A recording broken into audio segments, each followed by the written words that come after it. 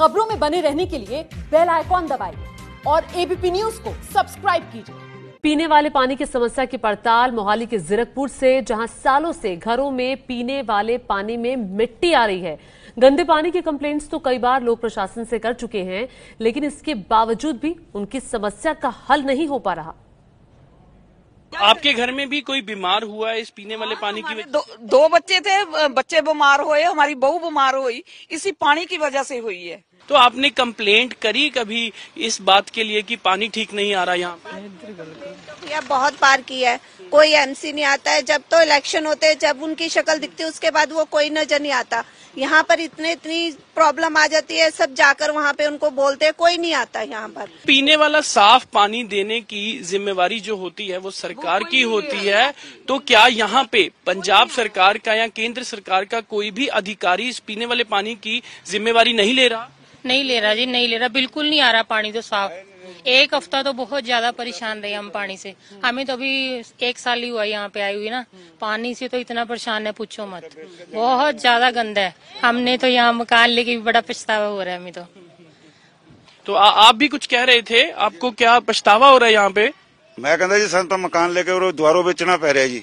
ਕਿਆ ਕਰੀਏ ਪਾਣੀ ਨਹੀਂ ਮਿਲਦਾ ਜੀ ਪੀਣ ਨੂੰ ਨਹਾਣੇ ਵਾਸਤੇ ਬਹੁਤ ਬਿਮਾਰ ਹੋ ਗਈ ਕਦੇ ਮੈਂ ਬਿਮਾਰ ਹੋ ਗਿਆ ਜੀ ਕਦੇ ਕੋਈ ਬਿਮਾਰ ਹੋ ਗਿਆ ਕਦੇ ਕੋਈ ਬਿਮਾਰ ਹੋ ਗਈ वाटर हेल्पलाइन के लिए जो सरकार ने कुछ नंबर्स कंप्लेंट के लिए जारी किए हैं क्या उस पर कंप्लेंट करने के बावजूद भी कोई समाधान नहीं है सबको सर सबको कंप्लेंट किए कोई नहीं आता यहाँ पे जब तक हायर अथॉरिटीज पे प्रेशर नहीं पड़ता यहाँ पे कोई आता नहीं है जो भी जितने भी जिसके पास जो भी लिंक्स है सब फोन करते हैं तो जाके कोई एक आधा बंदा यहाँ पे आता है नहीं तो कोई नहीं आता वो भी बस देख के बस चले जाते हैं वापस काफी काफी ये डेवलपिंग एरिया है क्योंकि चंडीगढ़ के बिल्कुल साथ लगता है और दिल्ली हाईवे पे भी है। बहुत डेवलप हो रहा है ये एरिया लेकिन पानी की समस्या जो है वो जिस तरह से आप लोग दिखा रहे हैं और बता रहे हैं उसके मुताबिक इस एरिया में अभी तक डेवलपमेंट ही नहीं हुई पाई पानी की। नहीं पानी की भी सेम है सर यहाँ पर और सिब्रिज की भी सेम प्रॉब्लम है यहाँ पर। अगर पानी ठीक आता है तो सिब्रिज में प्रॉब्लम होनी शुरू हो जाती है। यहाँ पे हमेशा से यही चलता आ रहा है। जब से हम आए हमें दस साल हो गए हम दस साल से यही चीज़ देख रहे हैं यहाँ पर। कोई प्लानिंग नहीं है। प्लानिंग नहीं है यहाँ पे कोई कोई प्लानिंग नहीं अनप्लान बनाया हुआ बिल्कुल। जो फ़र्स्ट पहले थे वो थोड़े छोटे इंच के पाइप थे अब इतनी जनता होगी पॉपुलेशन आपको पता है डेली इंक्रीज हो रही है पर कोई है नहीं कुछ। कोई और कोई हल ही नहीं है सादा पानी जाने पानी तो पीने के पानी का आप लोग हल क्या करते हैं? क्योंकि जिस तरह से पानी आप दिखा रहे हैं तो वहाँ बाहर से मंगवाते हैं हम।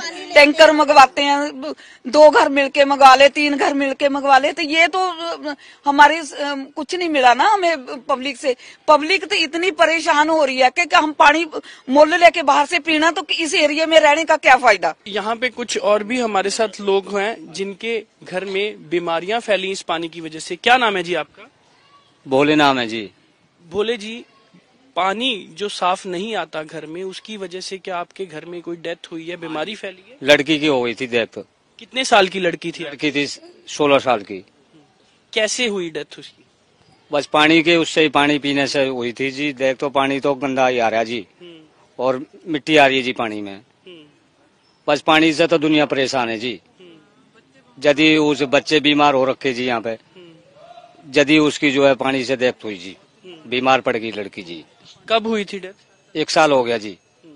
एक साल एक साल से ज़्यादा हो गया जी। एक साल से पहले से पानी गंदा आ रहा है जी, यहाँ तो कॉलोनी में।